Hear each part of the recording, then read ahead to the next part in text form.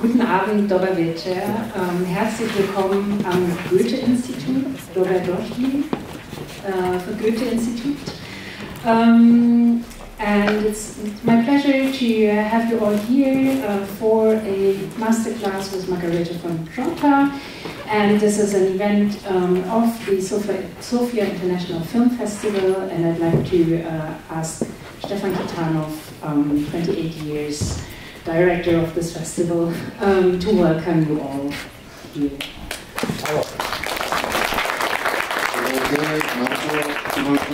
Ти ли превеждаш? Ага. Окей. Ами аз ще говоря на български, а който превежда, превежда на съответния език. А, като започнах този фестивал преди 28 години, всъщност като започнах, Okay, ich wollte eben die Jacke runterziehen. Започнах да показвам филм, който се случи през 1992 година, като директор на Дома на киното.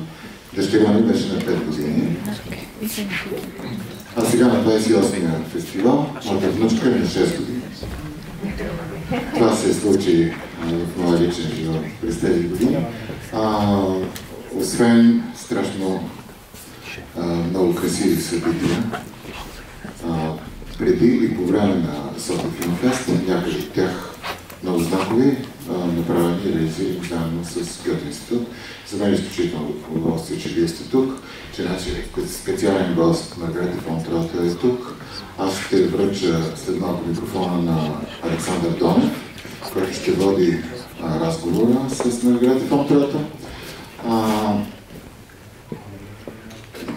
ние сме го кръстили мастер-клас, но това е разговор между водещ български кинокритик и а, една от водещите жени режисьорки в световното кино. А, да следете се на този разговор. А, този разговор трябва да завърши не повече от 7 часа, за да може вие... Колко от вас има билети за прожекцията на Индивър Бахман? Има ли за събота? Моля? За събота има? Кой има за събота? А, така. Но виждам тук много хора, които нямат билети. Единственият шанс за вас да гледате този филм, представен лично от Маргарета фон Трота, е да стигнете от тук, от Гьоте институт до кино Люмиер, да си купите билети и да влезете. И пожелавам ви приятни мирове с историята на фон Трота.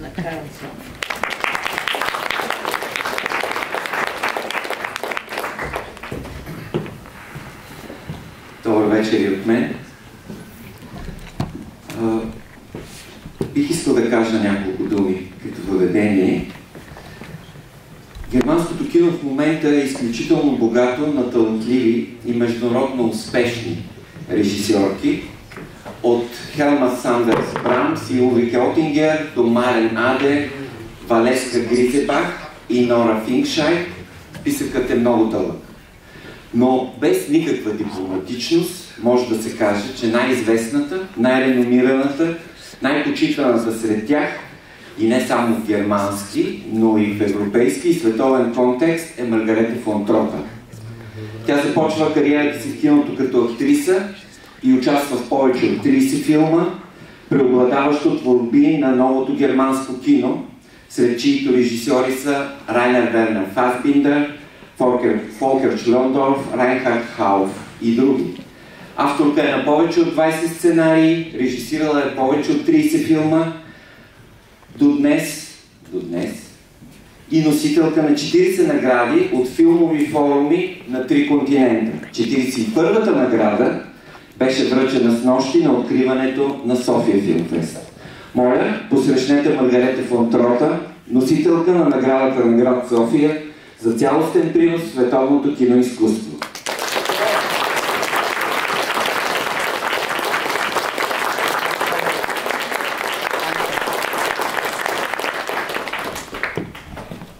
Jetzt kann ich aufbauen. Ja, bitte schön. Wo soll ich mich denn hinsetzen? Die? Ja. Ja, das geht doch nicht. Ich setze mich auf. Nee, ich setze nicht wie Schwieger. Aber da siehst du winzig aus. ich bin winzig. Is it because it's big? No, she doesn't. She's too small in that chair. She wants to be die andere. Brauchst du die Übersetzung? Ich, ich spreche Bulgarisch. Ah, Ah, okay. Guck mal, so sieht er doch viel besser aus. Wenn Sie so sagen.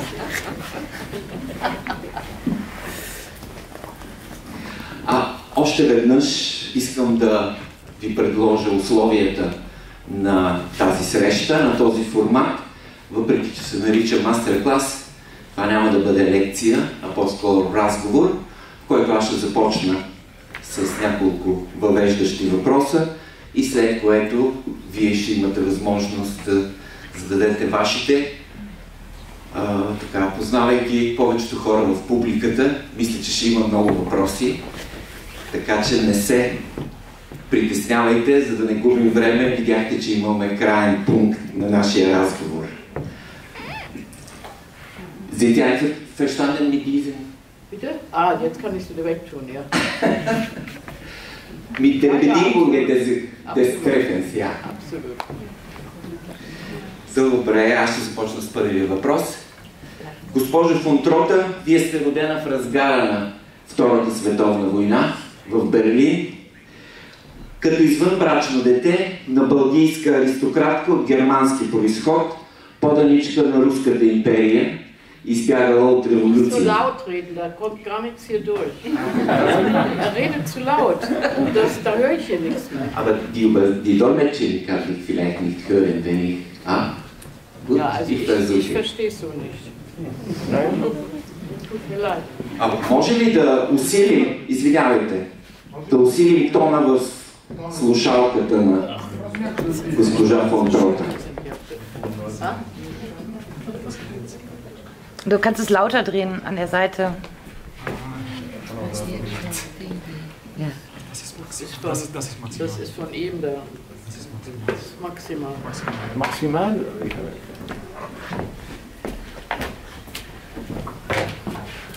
Okay, Entschuldigung. Ist das jetzt besser? Ja, jetzt ist besser, besser, besser. Ja. Und die Frage lautet, Ja. какво наследихте от майка си, освен аристократичната титла? Ah, das Bedürfnis, frei zu sein.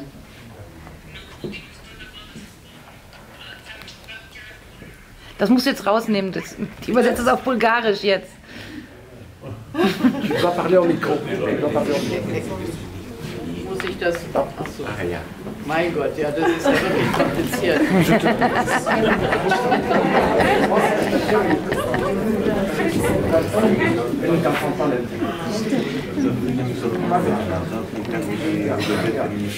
Ja, also ich, auf der einen Seite muss ich die, die Frage hören, dann mache ich so und dann so. Okay? Micro. Also, was habe ich bei meiner Mutter gelernt? Ja? Was, was erinnere ich mich? Ich erinnere mich, dass sie eine sehr freidenkende Frau war, dass sie mit mir zusammen sehr arm war, weil es war nach dem Krieg, nach dem Zweiten Weltkrieg. Wir haben nur in einem Untermietszimmer gewohnt und eigentlich hat alles dafür gesprochen, dass wir uns ganz arm und ganz traurig und, und äh, ja, schlimm gefühlt hätten, aber wir waren beide froh, zusammen zu sein. Und meine Mutter war eben, wie gesagt, eine sehr freie und frei denkende Frau. Und das hat mich, glaube ich, durch meine Kindheit begleitet. Und das bin ich dadurch auch immer noch. А и кога разбрахте, че ще се занимавате с кино? Че ще правите филми и че това ще бъде смисъл на вашия живот? Also meine Mutter ist ungern in Filme gegangen. Das war auch, weil damals in Deutschland, als ich als eine junge Frau oder ein junges Mädchen war, äh, gab es eigentlich nur furchtbare Filme, Heimatfilme gleich. So 50er, 60er Jahre waren die Filme nicht besonders gut. Äh, meine Mutter ist lieber in die Oper gegangen oder in Ausstellungen oder äh, in Konzerte. Also Theater, das waren so unsere Beschäftigungen. Und Film habe ich eigentlich erst kennen und schätzen und lieben gelernt, als ich dann nach Paris ging. Mit 18 Jahren bin ich nach Paris gegangen. Und da bestand schon äh, die Nouvelle Vague. Und alle, die ich kennengelernt habe an Franzosen, französische Studenten, die waren also, was ist?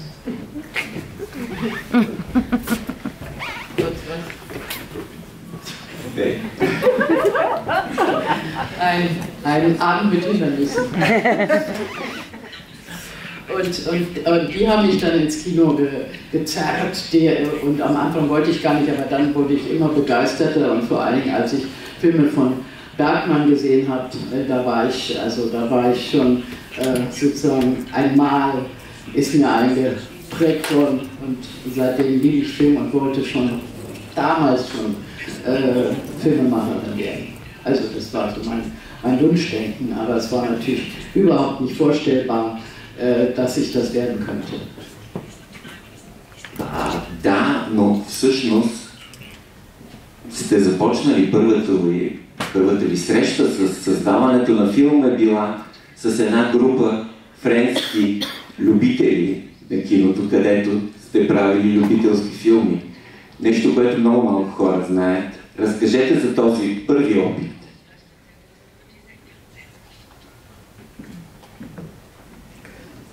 Jetzt mache ich das wieder hier. Ne? Also, äh, äh, das waren alles Studenten, und zu, meistens äh, Philosophiestudenten. Aber dadurch, dass eben die Nouvelle Vague äh, und schon mit Chabrol und Truffaut und Godard, also zum Beispiel Außer Atem von Godard, das war damals der Film äh, schlechthin, und, äh, und die haben sich also alle für Filme interessiert und wollten auch gerne Filme machen. Äh, natürlich waren sie keine Professionelle, aber die, die bei der Nouvelle Vague äh, ihre ersten Filme gemacht haben, waren auch keine Professionellen. Ja, das kann man ja heute noch sehen. Also das, das, waren, das waren keine Philosophen, sondern, sondern Mitarbeiter von den Cahiers du Cinéma äh, und Filmliebhaber. Ja, und die sind darauf gekommen, dass man Filme nicht nur nach Schauspielern beurteilt, sondern nach den Regisseuren. Die haben das praktisch eingeführt, dass Regisseure für Filme wichtig sind. Ja, ja aber Ihre Erfahrung Meine mit diesen Erfahrung Laienfilmemacher. Naja gut, also das, war, das heißt Laien. Man, man kann ja dann auch Filme machen und durch Filme machen wird man auch irgendwo nicht wirklich professionell, aber doch, wir haben natürlich den Film erst 8 mm immer gemacht und dann auch einen 35 mm Film. Also wir waren zwar alles Laien, aber wir hatten einen äh, professionellen Kameramann und seinen Assistenten und wir kann, hatten ja viele Bilder von Austin Welles, von Bergmann. Wir hatten ja viele, viele Bilder im Kopf, die wir dann versucht haben, natürlich auch irgendwie nachzumachen. Aber, aber das war unsere Passion und Passion kann ja auch zu etwas führen. Also das ist jetzt nicht, das war kein Laientheater, wir haben schon richtig Film gemacht. Ja. Und war die Schauspielerschule ein Schritt zum Film oder Sie möchten richtig Schauspielerin werden? Nein, nein, also ich bin dann nach Deutschland zurückgekommen und hatte natürlich das im Sinn, dass ich vielleicht auch was mit Film zu tun haben könnte. Äh, nur war in Deutschland, wie gesagt, der Film noch nicht wirklich geboren, also jedenfalls nicht der neue deutsche Film. Das kam dann erst 65. Aber ich äh, dachte, wenn ich vielleicht mal zum Film gelangen könnte, vielleicht ist es besser, wenn ich als Schauspielerin mich versuche. Ja? Weil also die Vorstellung, dass eine Frau Filme macht, war damals überhaupt noch nicht in den Köpfen drin. Und äh, deswegen habe ich Schauspielunterricht genommen, bin dann auch ans Theater gegangen, habe auch Filme gemacht als Schauspielerin und dann habe ich natürlich während der Zeit schon immer geguckt, wie machen das die Regisseure. Ich habe manchmal zum Beispiel für Fernsehen äh, äh, ganz dumme Fernsehen gemacht, aber nicht nur danach orientiert, wer macht den Film als Regisseur. Und das waren manchmal auch für, für ganz normale Fernsehfilme gute alte Regisseure. Und äh, den habe ich ja versucht, das abzuschauen, von denen was zu lernen. Ja? Und, äh, und, und auch, auch Fassbinder und Schlöndorff, als ich mit denen als Schauspieler habe ich immer gesehen, wie machen sie es. Ja?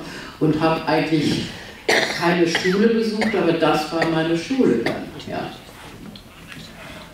Ah, und noch eine Frage über Ihre erste Arbeit als Co-Regie bei dem Verlorenen Ehre von Katharina Blum. Wie wurden die, die, die Aufgaben zwischen Ihnen und Volker Schlandorf verteilt? Wer machte was an diesem Film? Naja, ich kann ja erstmal erzählen, vielleicht sollte, sollte eigentlich noch die Katharina Dumm spielen.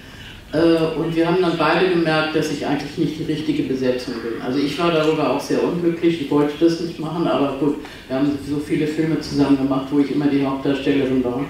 Aber dann haben wir also beide äh, beschlossen, dass wir jemand anders suchen. Und der Heinrich Böll, der ja also die Geschichte geschrieben hatte, der hatte Angela Winkler in einem Kino, äh, nicht in einem Kino, ein Theaterstück gesehen, ich glaube in Bochum oder so.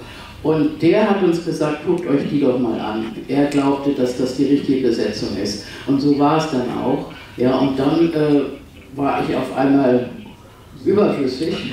Und dann hatte Volker, und er wusste natürlich von meinem Begehr, dass ich äh, irgendwann mal Filme machen wollte, äh, das hat er schon mitbekommen. Und da hat er mir eben vorgeschlagen, pass auf, wir machen den Film zusammen.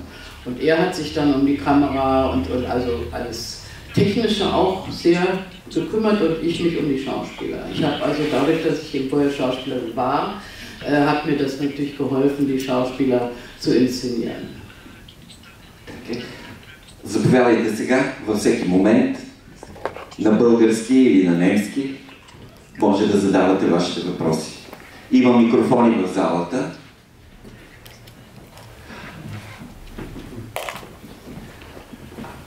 Господин Христо Бакалски. ich, äh, ich habe keine, keine konkrete Frage. Ich habe Ihnen ein großes Dankeschön äh, für Sie, weil ich kann mich erinnern, als ich Ende 20 war und in Berlin gelebt habe, eine längere Zeit, war es für mich ein Schlüsselerlebnis, die bleibende Zeit zu Ah ja, naja. Äh, das hat mich äh, sehr beschäftigt und ich glaube, das hat mir als Mensch und äh, später auch als Filmemacher äh, sehr geholfen. Das heißt, äh, äh, es ist, äh, ich habe das gar nicht so politisch so richtig alles durchdrungen, sondern ich habe gemerkt, es ist einfach ein wahnsinnig guter Film. Und dieser Film hat eine enorme Wirkung. Und Wo haben Sie den gesehen? ich, meiner Meinung nach, in Ostberlin. Ah ja, in Ostberlin. Ja, da ist er auch gelaufen, ja. Ich habe in Ostberlin gelebt und ich konnte rüber manchmal nach West-Berlin, aber ich denke, ich habe ihn in Ostberlin gesehen. Und äh, auch Rosa Luxemburg habe ich in Ostberlin gesehen. aber die, diese Filme, die, die haben mich sehr beschäftigt. Einfach, ich kann Ihnen nicht genau sagen, äh, warum, aber äh, sie haben mich geprägt.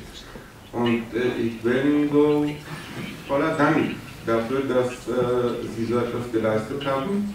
Also für Ihre Generation, für meine Generation, für Menschen, die Filme interessiert sind. Also es, ist, es ist mir ein, ein großes Dankeschön. Das ist ja wirklich wunderbar. Ich danke Ihnen, dass Sie das so schön gesagt haben. Vielen Dank. Ja, nein, aber um das noch auch vielleicht zu ergänzen, in, in, äh, in der DDR, also Ostberlin, also Ostdeutschland, aber damals sagte man ja die Deutsche Demokratische Republik, äh, da sind all meine ersten Filme rausgekommen. Ich habe sogar also Auszeichnungen, ich habe mal eine, eine, eine Klappe bekommen, ja, so diese Filmklappen. Ne? Das war also ein, ein, ein, ein, ein Preis, der, der damals aus einer Filmklappe bestand. Und äh, ich hatte immer das Gefühl, dass die DDR meine Filme, also die, auch die Offiziellen, die müssten, mussten ja damit einverstanden sein, dass meine Filme gezeigt wurden. Und dass die immer das Gefühl hatten, ich bin also gegen die Bundesrepublik. Ich bin eine solche scharfe Kritikerin der Bundesrepublik, dass ich also dort willkommen war. Bis sie dann bei Rosa Luxemburg eigentlich begriffen haben, dass ich so weit eben doch auch nicht, äh, ja. Und dann auf einmal wurde ich äh, nicht mehr eingeladen. Also da hätte ich auch nicht mehr über die Grenze gekonnt weil da war eine Diskussion in, äh, innerhalb der Akademie der Künste auf der Ostseite und äh, ich habe bei irgendeiner Frage geantwortet, äh, wenn Rosa Luxemburg nicht von den Deutschen umgebracht worden wäre, dann wäre später der Stalin äh, hätte sie umgebracht. Ja? Und das war eine Bemerkung, die man mir so übel genommen hat, dass man sofort meine Möglichkeit in die DDR einzureisen gestrichen hat. Ja. Also das war, ich fand das eigentlich sehr, sehr, äh, ja, erstmal unverständlich, aber dann doch, wenn man jemand so einverleiben will und der wehrt sich dann dagegen, na ja gut, das ist halt, ist, als ob ich eine DDR-Bürgerin äh, gewesen wäre, die muss man strafen. Nur mir hat es nichts ausgemacht, weil ich kam, kam ja aus dem Westen, konnte ja zurück. Das ist ein Aperçu, politisches Aperçu. Дина Йорданова. Аз ще кажа на български, защото на немски вече съм забравила да говоря. А, колегата тук много добре казва за източна Германия, но аз всъщност съм гледала филмите на Маргарете фон Трота в София. А, когато Без Роза Люксембург всички останали до 90-та година. Роза Люксембург съм гледала в София в кино Витуша, Диблая на Цайт в София в кино Витуша, предишния, който беше с Катарина Талбах, не си спомням, Криста Клагес, също съм гледала. И всички тези филми се показваха в специализирани артхаус art house cinemas in Sofia. Uh, so people like me of my generation uh, know your films uh, for many, many years, and your name has been absolutely well known since the 80s. Исках просто да кажа, че е много важно все пак за България. България сме в момента. We're in Bulgaria at the moment, so. Ja, das wusste ich nicht. Das habe ich nicht gewusst, dass man hier Alma, das habe ich jetzt bei meinem Aufenthalt hier erfahren und äh, bin natürlich sehr glücklich darüber. Ja. Also das äh, wurde mir nicht mitgeteilt. Да, и те бяха в официално разпространение, а не както в други страни с контрабандно направени копии. Ja, genau.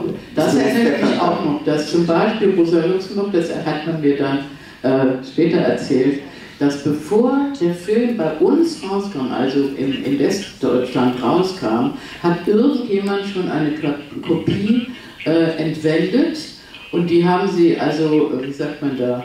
Kopiert. Vervielfältigt. Ja, und, und nach äh, Prag geschickt. Und in Prag haben die den Film eher gesehen als in Deutschland. Da habe ich mir noch gedacht, wie kommt das? Und das habe ich mir dann natürlich erklären können. Ja, da war so ein Traffic, so ein Black Traffic, dass, dass man das machen konnte, ja. Czech, Czech Republik war ein Co-Produzent des Films, glaube ich, in Barandov. Nein, doch, so steht, so steht. Nein, das stimmt aber nicht. Das heißt doch, doch, die, die, ich, ich habe einen Teil in Prag gedreht. Kann sein, dass es deswegen passiert ist. Господин Тафров. Да. Er weiß mehr als ich. Аз изпомням един наш разговор с Маргарете В Париж, защото ние от тогава се познаваме всъщност нашето приятелство е парижко. Аз се попитах какъв е, каква е границата за един кинорежисьор, кога решава да, да спре да прави филм. Тя ми отговори нещо, което много силно ми направи впечатление. Режисурата изиска много физически сили. А, много трудно е а, да режисираш от физическа гледна точка и това е всъщност лимита. Обаче аз искам да попитам, добре, сега с тези нови технически средства, всякакви камери, аз не знам, компютри в киното, да, а дали това не помага все пак на един по-възрастен режисьор да да продължи да прави филми, или пък това ограничава неговата креативност. Нали? Това е а, прекаленото техницизиране, технологизиране на киното. А, какво мислиш а, по този въпрос, Маргарет? Naja, also ich meine, als, als äh, Regisseurin trägt man ja nicht keine Kameras und keine äh, Boxen und so weiter. Also man ist von dieser körperlichen Arbeit eigentlich immer schon befreit gewesen. Ja? Also ich sitze jetzt vor dem Monitor, vorher habe ich neben der Kamera gesessen und so zugeguckt, wie alles ablief und jetzt sitze ich halt irgendwo ein bisschen weiter weg in der schwarzen Box und sehe es auf dem, äh, auf Monitor. Ja? Aber äh, also überanstrengend hat man sich nie bei, beim, beim Film als Regisseur. Ja? Höchstens, wenn man zu viel unterwegs war von einem Drehort zum anderen, aber nicht in dem Moment, wo man äh, selbst gefilmt hat. Und das Alter, ja, na gut, man wird etwas schwächer, aber Sie sehen ja, ich bin ja noch da. Ja, Alfred Hitchcock, hat nicht auf dem Set Regie geführt, sondern von dem Auto an der Nebenstraße. Der Hitchcock? Ja. Ach was, aber dann ist ganz spät. Und da war, war vielleicht die Technik schon ein bisschen weiter fortgeschritten. Ja. Da, zapovedajte, Maja Dimitrova. Радвам се, че стана дума, че филмите на Маргарета фон Троти са много познати в България и то от дълги години, от десетилетия. Вие сте един от големите творци на европейското кино, за които се преподават в българските университети. И за вас в България са написани книги. Не само филми, които са познати. Но въпросът ми е, и предпочитам да слушам вас, а не нашите въпроси. Вие подчертахте вашата връзка с френската нова вълна, с вдъхновението ви от филмите на Ингмар Бергман и това от една по-далечна епоха. Единственият филм, който не сме гледали в България, е точно този за Ингмар Бергман, който стои във вашето филмография.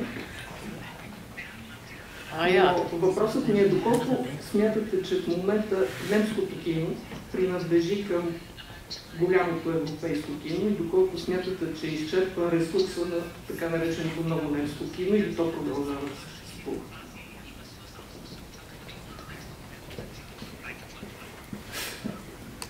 Naja, also das ist ein bisschen pessimistisch, was Sie da jetzt sagen. Ja, also ich finde äh, gut, dass man, das, ich meine, es gibt ja immer so ein Land, was, äh, was weltweit auf einmal die Aufmerksamkeit auf sich zieht. Und das dauert immer so zwei, drei, vier Jahre.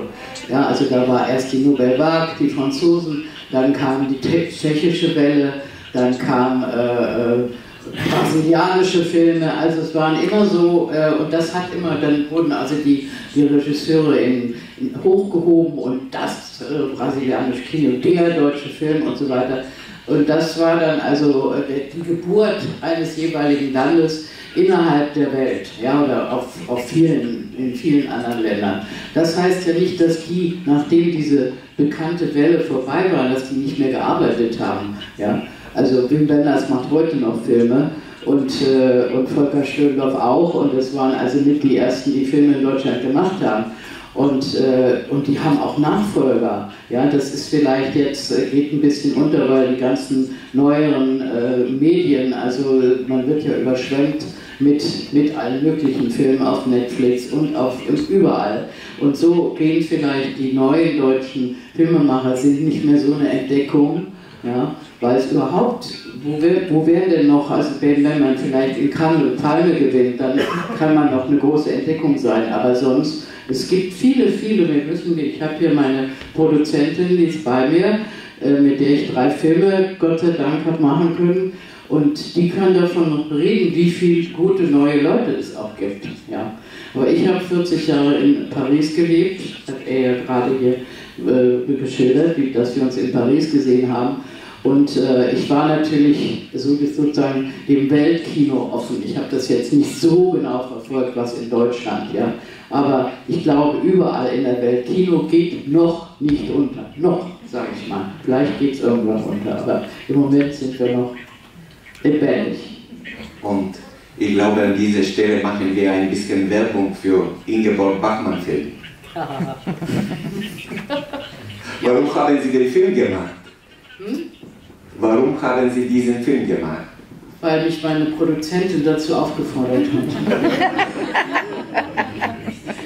ich hab, bei dem Film hatte ich vier Produzenten und die hatten sich irgendwie ausgedacht, dass das ein Film für mich wäre. Und äh, ich war erst, ich bin erst immer etwas erschrocken, wenn ich so, Persön so große Persönlichkeiten oder jedenfalls von Persönlichkeiten, das ging mir bei, bei Rosa Luxemburg auch so und auch bei Hannah Arendt, von denen ich den Eindruck habe, dass ich ihnen nicht das Wasser reichen kann. Da bin ich erstmal immer ein bisschen erschrocken. Und dann brauche ich Zeit, um mich mit den jeweiligen Personen zu beschäftigen und zu sehen, ob ich überhaupt da hinlange, ob ich da hinkomme, ob ich ein Gespür habe, ob ich mir das zutrauen kann. Ja, und dann haben sie mir aber die Freiheit gelassen, äh, mir die Periode auszuwählen, äh, weil ich, ich mag keine Filme von der Wiege bis zur Bahre, also das finde ich immer ein bisschen langweilig. Und dann und dann und dann und dann und dann, ja, also da so vier Jahre, die wichtig sind, äh, im Leben vielleicht, oder auch sechs, also für, für Ingeborg Bachmann sind es sechs Jahre gewesen, die ich ausgesucht habe. Für, für äh, Hannah Arendt, die Sie vielleicht gestern gesehen haben, äh, waren es vier Jahre, nämlich die vier Jahre der, der Eichmann äh, in, in Jerusalem. Und danach, also die Kontroverse, der Film hieß auch am Anfang die Kontroverse. Und äh, ja, als ich mich also entschieden habe für, für diese vier Jahre, die sie mit mit äh, Max Frisch verbracht hat, ähm, da fühlte ich mich dann doch äh, so weit in der Lage, darüber was, was zu erzählen. Ja, und was mich daran interessiert hat, sie war vorher mit dem Poeten, also dem Dichter Paul Celan, doch einige Jahre zusammen. Das war ein sehr komplizierter Mann, der sehr leicht gekränkt war und natürlich auch Poet. Ähm, und das ging dann zu Ende, 58 so ungefähr in, pa in Paris. Celan lebte in Paris und genau in dem Moment lernt sie Max Frisch kennen. Ja? Und Max Frisch, also der schon sehr anerkannt war und 14 Jahre älter als sie, der also schon in der Welt mit seinen Stücken und aber auch mit seinen Romanen äh, viel, viel größere Bedeutung hatte, glaube ich, als, als, als sie, weil sie hat ja bis dahin hatte sie nur Gedichte geschrieben und die waren noch nicht in anderen Ländern nicht so übersetzt worden. Die sind jetzt überall, glaube ich, kann man sie lesen, aber damals eben noch nicht. Und, äh, und da sie vorher mit diesem ganz äh, ja, so verletzbaren und, und auch verletzenden Mann zusammen war, glaube ich, hatte sie den Eindruck, dass sie bei Frisch also einen stabilen Mann findet und auch jemand, der sich selber vielleicht schützen kann. Außerdem hat er natürlich viel mehr Geld verdient, als sie jemals verdient hat. Und, äh, aber dass er ihr trotzdem Freiheit lässt. Sie war eine Frau, die Freiheit wollte, obwohl sie geschützt werden wollte. Das ist ja auch so ein Widerspruch, den viele Frauen auch heute noch empfinden. Und, und sie hatte beschlossen, dass sie aufhört, Gedichte zu schreiben. Das kommt auch in einem in dem Film vor, wie sie das erklärt, warum sie keine Gedichte mehr schreibt äh, und wollte Prosa schreiben. Und das fand ich hochinteressant, dass sie genau, das war ja nicht berechnend von ihr, sowas geht ja also äh, unbewusst auch vor, dass sie genau in dem Moment, wo sie aufhört, Gedichte schreibt, jemand trifft, der Prosa schreibt. Ja. Und dass sie aber dann trotzdem das nicht durchhalten konnte mit ihm, weil nur, er stellte sich, er hat zunächst, hat er vielleicht auch gehofft, das ist so eine neue Begegnung und so eine interessante und geheimnisvolle Frau und dass er auch von ihr irgendwie vielleicht was äh, profitieren könnte für seine eigene Schriftstellerei, hat er ja dann auch, hat ja auch über sie indirekt geschrieben. Ähm, und, und gleichzeitig ist er ein Mann seiner Zeit geblieben. Ja. Also jemand, der vorher verheiratet war, drei Kinder hatte, die Frau hat gekocht, die hat alles für ihn gemacht, wie das so üblich war. Und dann kommt eine Frau, die will frei sein und will nicht geheiratet werden und ihr eigenes Leben haben. Ja, also das hat er dann doch nicht ausgehalten. Und, äh, und dann hat er sie verlassen, natürlich mit einer jüngeren Frau, das ist ja so, Männer in dem Alter, die die Frauen verlassen, die müssen ja immer jünger werden. Das ging übrigens weiter bei ihm so. Er hat dann noch zweimal seine Frauen verlassen und die wurden dann jedes Mal jünger, die nächsten. Ja, also auch eigentlich ein Klischee, kann man sagen, von Mann. Ähm, und sie hat darunter dann doch sehr gelitten. Ja, also das hat mich auch irgendwie sehr mitgenommen, dass ich dachte, mein Gott, so eine freie und, und intelligente und äh, freiheitsliebende Frau, dass sie dann doch in dem Moment, wo der Mann sie verlässt, verlässt äh, Selbstmord versucht, Selbstmord zu machen und dass eigentlich diesen, dieses Leid, was ihr da zugefügt worden ist, aber was sie sich ja irgendwo auch selber zugefügt hat, äh, nicht mehr losgeworden ist bis zu ihrem Tod. Ja. Und er hat natürlich diese jüngere Frau, also er hat davon profitiert, ja, auch für sich und seine Schreiberei. Und sie, und das, also diese Diskrepanz, weil in der Psychologie einer Frau, das finde ich immer, finde ich halt hochinteressant. Ja. Да, Sie so denn alle jetzt die Übersetzung mit oder sprechen ja, ja. alle Deutsch? Doch, doch wir haben eine simultane Übersetzung. Ja, weil ich sehe nicht, dass jemand was im Ohr hat. Weil ich verstehe, ich verstehe. Doch, doch, haben die Leute. Achso, okay. Ja. Ich verstehe aber Sprache. Ich habe ich alles verstanden. Ich wollte schon diese Frage stellen, die Sie gestellt haben. Aber äh, ich habe verstanden, ich habe verstanden, dass äh, Ihre Produzenten dieses Thema gewählt haben.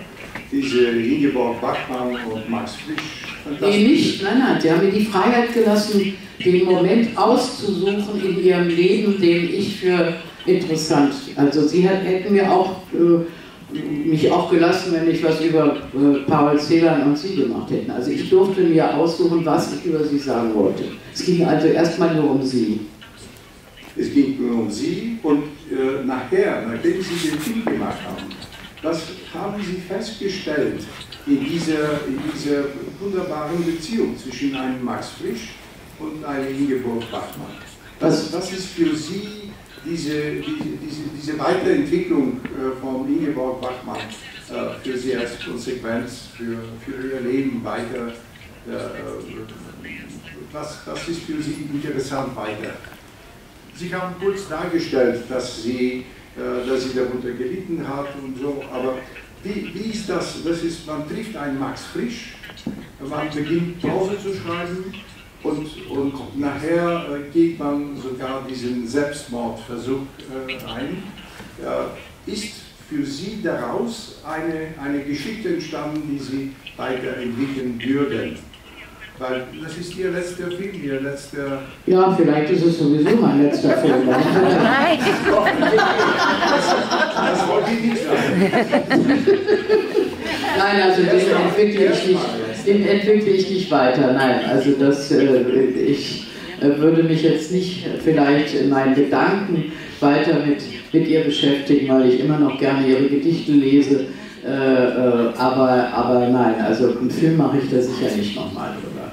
Und sie ist ja nie wieder ganz, also sie hat natürlich dann auch mit anderen Männern oder so, es ist nicht so, dass sie plötzlich eine einsame, traurig einsame Frau geworden ist, aber, aber so richtig äh, wirklich gesund und wirklich stark ist sie nie wieder geworden danach. Das hat ihr wirklich, äh, also Sie hat dann, obwohl wenn man den Film sieht, sie hat ja dann nach zwei Jahren, äh, war sie in Berlin in der äh, Fraud Foundation, hat sie ein, äh, also ein, ein, wie sagt man, ein Stipendium bekommen oder eine, äh, und, und, wurde da also zwei Jahre für bezahlt, dass sie da studieren konnte und schreiben konnte. Und äh, da kam dann ein junger Mensch aus Wien, das sieht man in dem Film, der sie äh, besucht hat, weil man ihm gesagt hat, wenn du nach Berlin, dann musst du die Ingeborg Bachmann treffen. Das ist die beste Dichterin oder die, ja, die beste Schriftstellerin, die es in Deutschland gibt zu dem Zeitpunkt. Und er, also ganz naiv eigentlich, ist er hingegangen, hat er das auch gesagt und hat mir gesagt, ich muss sie kennenlernen. Und äh, der war eben so umwerfend sympathisch und so, so naiv und hat sich eben nicht vor ihr auf die Knie, äh, ja, sondern hat sie ganz normal angesprochen, das hat ihr, glaube ich, gefallen. Und dann hat er sie aufgefordert, mit in die Wüste zu kommen. Und da gibt es eine Szene, wenn Sie den Film gesehen haben gestern, ne? Den sehen Sie heute Abend. Ja. Ach so, naja, dann kann ich es Ihnen ja sagen. Da gibt es eine Szene, wo er ihr aus, also der Max Frisch ihr aus seinem Buch äh, Stiller vorliest. Und da äh, beschreibt er auch eine Wüstenfahrt. Und sie sagt dann, ähm, ich war noch nie in der Wüste. Und sie sagt, er sagt, ich bringe dich hin, ich zeige sie dir. Ja, und dann kommt der junge Mann, nachdem sie der Frisch sich schon verlassen hat, kommt der junge Mann zu ihr und sagt, äh, er fährt in die Wüste und sagt, ach, kommen Sie doch mit.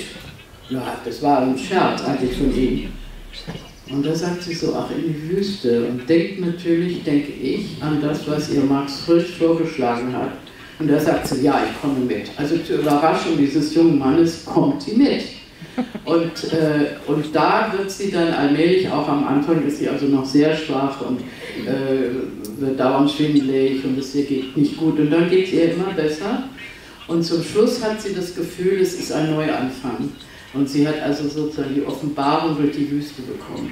Und sie kann jetzt weiterleben und, das, und auch weiterschreiben. Ja. Und das war für mich wichtig, also mit so einem positiven Ende, mit so einem Wiederaufwachen, Wiederaufblühen äh, zu enden und nicht mit dem wirklichen Tod von ihr, den Sie ja vielleicht wissen, dass sie äh, äh, verbrannt ist, weil sie mit einer Zigarette in der Hand ins Bett gegangen ist und nicht gemerkt hat, sie hat eben sehr viel Drogen genommen gegen ihre Schmerzen und so weiter.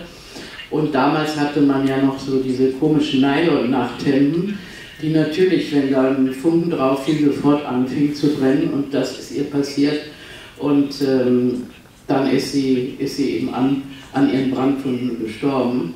Und das wollte ich, also diese, diese Art von Ende wollte ich, nicht, wollte ich nicht zeigen. Aber man sieht in dem Film, es ist, wenn Sie den genau anschauen, kommen immer so Momente von Feuer. Ja, äh, und das ist nur angedeutet, also ich wollte da jetzt nicht zu dick vorgehen, aber der, die ihre Geschichte kennt, der wird es vielleicht auch darin sehen und wissen, was damit gemeint ist. Имаме време за още два въпроса, така че ако побързате, ще влезем във времето. Да, заповядайте. Vielen Dank für dieses Gespräch, Frau, Frau von Trotter. Ähm, ich kenne Ihre Kunst vor allem ähm, von den Filmen über Hannah Arendt. Und ähm, ich würde gerne wissen, ähm, was finden Sie an Ihrer Persönlichkeit, an Ihrer Philosophie interessant und warum wollten Sie diesen Film machen? Über Sie? Das war auch wieder ein Film, den ich von äh, außen, sozusagen ist mir von außen aufgezwungen worden. Nein, ich meine, äh, das ist so eine große Denkerin, so eine große Frau, dass ich mich nie so von mir aus äh, äh, an sie herangewagt hätte. Ja? Also das muss bei mir dann auch von außen kommen, dass mir jemand das zutraut und sagt, du musst jetzt einen Film machen. Das ist natürlich auch ein Film über Deutschland, ist ja nicht nur über sie, sondern es ist also gerade, dass wir auch dann äh, diese Periode mit Eichmann und Eichmann in Jerusalem gewählt haben, damit haben wir ja eigentlich auch äh, einen Film über unsere Vergangenheit gemacht. Ja. Und, äh, und das war uns wichtig und mir wichtig. Und hier sitzt meine Produzentin, die wusste von Anfang an, das muss gemacht werden. Ja, also sie, man braucht sie ja nur anzugucken, dann sieht man, was, was das für eine Energie ist. Und also wenn ich sie nicht gehabt hätte, die mich auch immer gedrängt hätte, ja, deswegen wollte ich auch unbedingt, dass sie heute hier mitkommt, äh, weil, weil, ja, steh doch mal kurz auf. Also, Ja, also das, das war der, das eben auch nicht nur ein Film über eine Philosophin, sondern über Deutschland, ja. Ja, zupełamente. Herzlich willkommen in Bulgarien, Frau Trotter. Sie sprechen Deutsch? Ja. Okay. Ich habe Sie auch durch den Film Die bleibende Zeit kennengelernt. Ich war damals Teenager und der Film hat mich total verblüfft. Ein großer Fan von Ihnen. Und da Sie gesagt haben, dass Sie Ingmar Bergmanns Filme sehr beeinflusst haben, ich glaube, ich habe irgendwo gelesen oder gesehen, dass die bleibende Zeit in die Top 10 der Lieblingsfilme von Bergmann ja. ist. Und meine Frage ist, äh, hat er sich irgendwie mit Ihnen in Kontakt versetzt? Geben Sie ein bisschen, können Sie ein bisschen anlässlich des Filmes? Hat er sich irgendwie mit Ihnen in Kontakt versetzt anlässlich des Films? Oder? Hat sich Bergmann bei Ihnen gemeldet?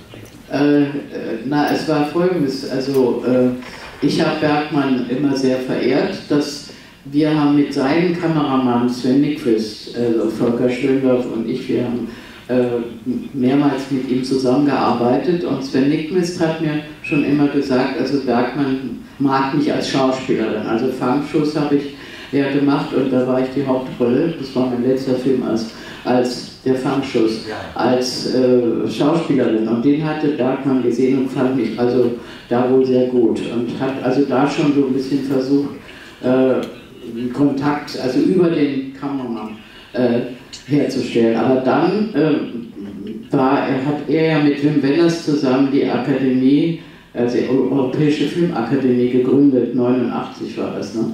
Und ja, und 88, ja, und 1990 war er, das hat er sonst nie gemacht, äh, Jurypräsident von, von, äh, eben von der Filmakademie äh, und hat seine eigenen Jurymitglieder ausgesucht. Ja? Und äh, also war Jean Moreau und Angelopoulos und äh, also einige, die ja, und, und unter anderem eben ich. Und wir sind dann irgendwo nach Schottland in ein, in, äh, ein äh, Golfhotel, aber im November, wo also keiner Golf gespielt hat, wo wir ganz alleine waren, weil er wollte immer niemand um sich herum haben und hatte also eine Leinwand aufbauen lassen und, und eine Abspielmöglichkeit. Und, und an einem Tag hat er mir gesagt, ja weißt du, Weißt du, Margarete, hat er immer so gesagt, äh, ich, du hast mich einmal gerettet. Ich sage, wieso? Ja, ja also er wäre äh, eigentlich äh, am Ende gewesen, er hätte keine Filme mehr machen wollen. Und äh, dann hätte er meine bleibende Zeit gesehen und daraufhin hat er wieder Mut gefasst und hat also weitergemacht, hat dann äh, Alexander, wie heißt äh, und Alexander, so und so. Der, ja, genau. Äh, gemacht danach, ja. Und ich habe gesagt, also komm, das kannst du mir doch nicht sagen, das stimmt doch nicht. Du sagst mir das jetzt, damit ich mich wohlfühle in deiner Jury und so, ja. Äh, also ich habe ihm nicht geglaubt. Dann hat er gesagt, ja, und auch Paola Amore, was ja nach Tschechow, äh, also eine moderne Version von drei Schwestern von Tschechow war, hat ihm auch sehr gut gefallen. Naja, also hat mir lauter Komplimente gemacht. Und ich habe gedacht, naja, das ist ein netter Mann, der will uns alle jetzt so ein, äh, äh ja. Und dann kam, also, wann war das? 1900, weiß nicht mehr. Jedenfalls hat ihn Goethe, Goethe äh, äh, Filmfestival, hat ihn aufgefordert, seine wichtigsten Filme in seinem Leben, äh, und die haben sie dann auch vorgeführt. Also das waren zehn oder elf Filme, die er dann aufgeführt hat. Da waren also diese ganzen alten Größen von, von Kurosawa und also alle vom, vom Stummfilm angefangen und alles nur Männer. Und ich war die einzige Frau, die einzige Deutsche und die jüngste. Ja, sie stand ganz zum Schluss mit der kleinen Zeit. Und da habe ich ihm dann geglaubt, weil das hätte er sicher nicht gemacht, wenn er den Film nicht wirklich äh, geliebt hätte. Ja. Und das war natürlich für mich, also, also ich meine, was Besseres kannst du ja gar nicht kriegen. Ne? Von jemand, den du liebst.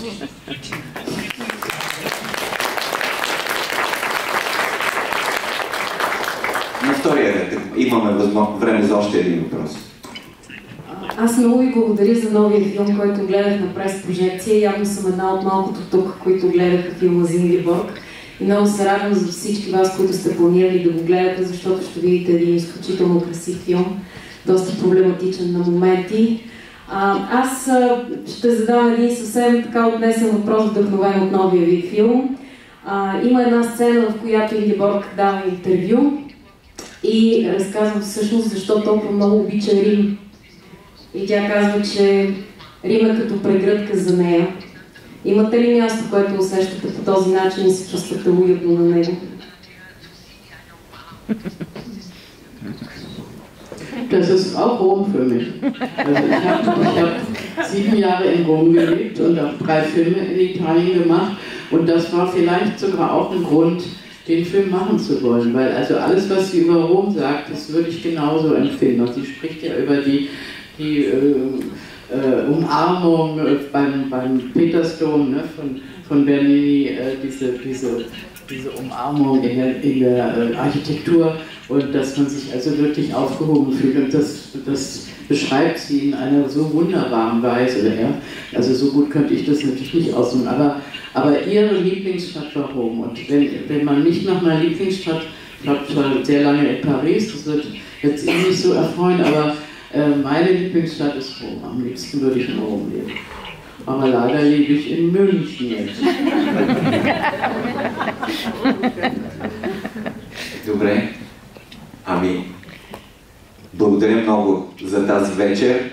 Благодаря за всички ваши филми. И да се надяваме, въпреки всичко, че ще имаме още една среща в София с ваш нов филм. Ich danke Ihnen auch. Vielen Dank. Благодаря и на Митана Гера за нашия превод. Благодаря.